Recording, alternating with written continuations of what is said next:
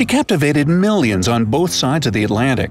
She was even dubbed the most beautiful woman that ever lived. Her life behind the scenes was as enigmatic as her image on screen. So, whatever happened to silent film star Greta Garbo after all that success? The Swedish actress never really liked talking to the press. You know what she famously said when asked about her personal life I was born, I had a mother and father, I went to school, what does it matter? And still, her younger days in Sweden affected her deeply. If not for them, she probably wouldn't have found her calling at all. But let's not get ahead of ourselves. She was born Greta Lovisa Gustafsson on September 18, 1905, to a working class family that lived in a poor part of Stockholm. She was only 13 years old when she finished middle school and decided not to go on to high school so that she could take care of her sick father. Her dad passed a year later, leaving her family of four now in unimaginable financial hardship. She desperately had to earn a living, so she started working at a department store. That store was the place where she made her acting debut, of sorts. She first started modeling for their clothing catalog and soon found herself with a full time modeling gig. Once she started acting in commercials in 1920, her path to the big screen was now wide open. She landed her first movie role in 1922 when she starred in a Swedish comedy. Not long after that, Greta enrolled in acting school at Stockholm's Royal Dramatic Theatre. When she graduated in 1924, she was discovered by one of Sweden's leading directors, Moritz Stiller. He cast her in his new film, The Saga of Gustav Berling. Stiller, in a way, became her guardian and introduced her to the world of cinema. He was also the one who insisted she use a stage name. After all, Gustafsson didn't exactly roll off the tongue, and the difficult pronunciation would make the aspiring actress's name hard to remember. And thus, Greta Garbo was born. There's a bunch of versions of where the new stage name came from, but one of them explains that it was inspired by the Italian musical term meaning with grace, which surely matched Greta's elegance. In any case, Garbo proved to be quite a catchy name as her notoriety grew in Europe. And soon enough, her fame would go transatlantic.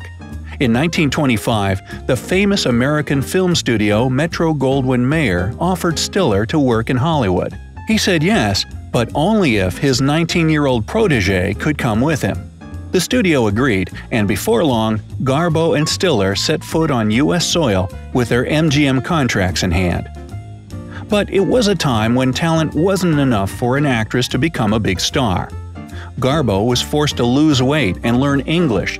Her hair was dyed, her teeth were fixed, and her eyebrows were tweezed into thin threads. Sure, she was beautiful as is, but she still needed to have the look of the time. One thing that remained ever unchanged was her magnificent large eyes framed by long eyelashes. They became her signature features. In 1926, Garbo played a Spanish singer in her first American film called Torrent. It was a hit, and Garbo was instantly proclaimed the next big thing. All the silent movies she made over the next few years were extremely successful. She practically became MGM's biggest star. Most of Garbo's films were love stories or dramas, and her unique performance on screen combined both passion and restraint. I wonder if we could say the same thing about her real life. Her most notable relationship was with her co star, actor John Gilbert. Their romance was highly publicized, and that's led to some to believe that it was arranged. And on the big day of their wedding, Garbo never showed up. The runaway bride's explanation for that stunt was her fierce independence. She wanted to live for herself and be her own boss. Greta Garbo was unique in other ways too. Despite being one of Hollywood's major idols, she didn't attend movie premieres, talk to reporters, or sign autographs. Journalists called her the Swedish Sphinx because an air of mystery surrounded her. She often kept to herself even on set, forbidding others from watching her work in front of the camera. She explained, If I am by myself, my face will do things I cannot do with it otherwise. As much as she wanted her surroundings to be a certain way, there were still things beyond her control. By the late 1920s, the silent film era was at its end. MGM feared that Garbo wouldn't do so well in the talkies because of her Scandinavian accent and her rough voice. In 1930, she made her debut in the sound film Anna Christie.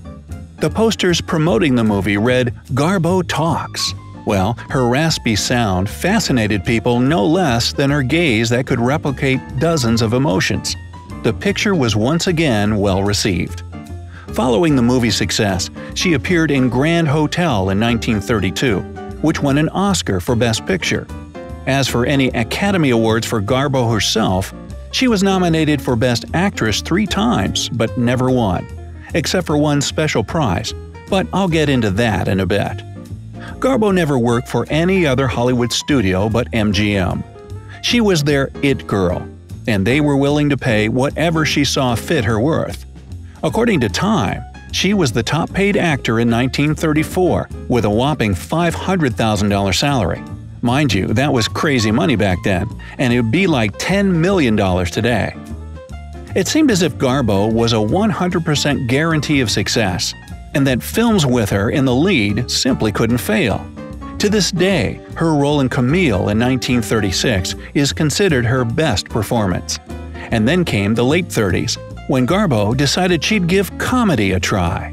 In 1939, she portrayed a Russian agent in Ninotchka.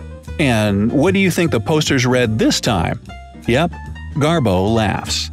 The movie was quite popular, and MGM decided to give Garbo's newly found comedic talent another shot, if only they'd known that her next role would pretty much end her career. In 1941, she appeared in Two Faced Woman, the critics called the story silly, and it was a flop. The film's failure supposedly hurt the actress's self-esteem tremendously. Whether or not that's true, Garbo decided to retire from Hollywood, at least for a while. As it turned out later, she left cinema for good. But that doesn't mean she was forgotten.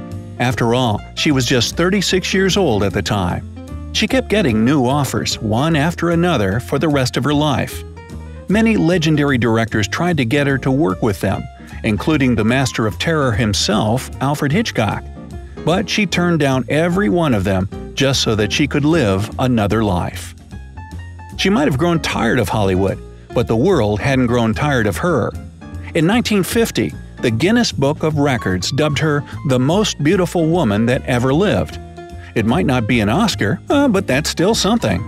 In 1954, she eventually did get her Oscar, but not for any film specifically. She was presented with an Academy Honorary Award for her unforgettable screen performances. Just like on her wedding day so many years ago, Garbo didn't show up to the ceremony. After she stopped acting, she became even more reclusive than before. She moved to Manhattan, where she'd take long strolls down the streets of New York wearing huge sunglasses not to be spotted. Photographers tried to catch a glimpse of her, but they rarely succeeded. The actress barely put her famous name even on private letters. Instead, she used different pseudonyms, mostly Harriet Brown. But it's not like Garbo lived in complete isolation from the rest of the world. Though she never married, she surely had many friends, including photographer Cecil Beaton and Baroness Cecile de Rothschild. So perhaps recluse isn't the right word. She just valued her privacy and liked to keep only close friends nearby. And although she wasn't making movies anymore, she hadn't given up on art entirely. She turned to collecting paintings and bought the works of Jawlensky, Renoir, and many others. She kept them in her New York apartment, the one she lived in for almost 50 years. She said that she wanted her rooms to sing, and color was the perfect way to achieve that. Greta Garbo died in 1990 at the age of 84. As biographer Barry Paris put it, she was an anomaly. She was both something to be experienced rather than adored, but people did both. During her short but exceptional career, she appeared in nearly 30 feature films. Her talent and beauty inspired entire generations of actors, artists, and musicians for years to come. So, who's your most favorite actor of all time? Let me know down in the comments. If you learned something new today, then give this video a like and share it with a friend. But hey, don't disappear like Garbo just yet. We have over 2,000 cool videos for you to check out. All you have to do is pick the left or right video, click on it, and enjoy. Stay on the bright side of life.